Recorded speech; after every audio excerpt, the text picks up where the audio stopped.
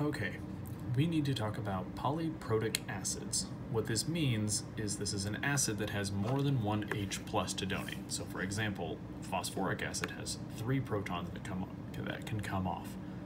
They don't all come off in one fell swoop. You get progressive removal of each of them.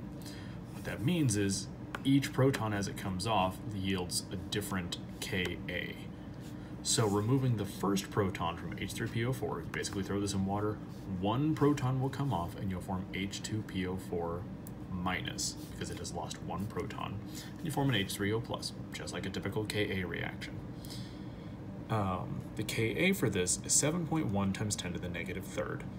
Despite being a weak acid, this is a reasonably large Ka. Okay. Um, I don't know, it's about a couple hundred times more than acetic acid, vinegar. Okay.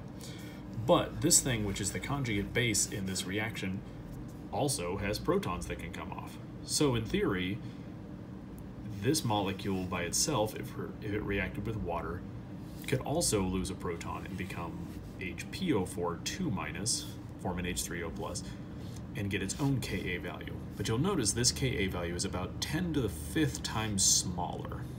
That means for every, so if you had both of these reactions going on at the same time, in other words, if you threw this in water, for about every 10,000 of these, you would get maybe one of these, approximately. We're just talking orders of magnitude here, but 10 to the fifth is about 10,000. Okay? So, the same thing is true of the next one. So this also still has a proton on it. It can undergo this also undergo this process. It also has a Ka, which is about 10 to the fifth of that. So, what this really means for us is that even though this thing has three protons to dissolve, or to dissociate, is that re in reality, you're only going to get the first one coming off if you throw this in water. Because for every 10,000 of these, you only get one of these, which means its impact on the pH is is going to be absolutely negligible. Okay, and this is such a small value that this reaction is more likely to go backwards and every time you produce one of these, Le Chatelier's principle is going to push this reaction backwards, which stops it from going to the next step. This reaction at the bottom is, is 10,000 times less likely to happen than this one, and this one's 10,000 times less likely to happen than this one. So in reality, even though it has three protons, it only matters if you're doing a titration. So under neutral conditions, so basically in water, you'll only get the first reaction.